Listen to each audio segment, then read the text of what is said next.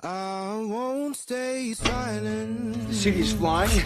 We're fighting an army of robots. And I have a bow and arrow. None of this makes sense. Guess I should have not. But I'm going back out there because it's my job. Hey, Clint. Hey, man. But if you step out that door, you are an Avenger.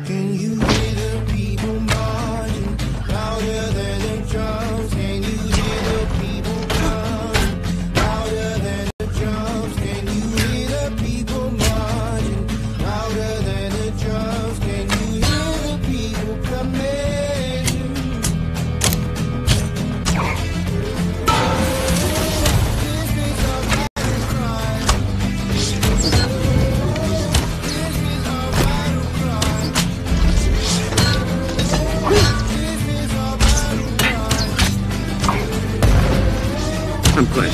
I don't care.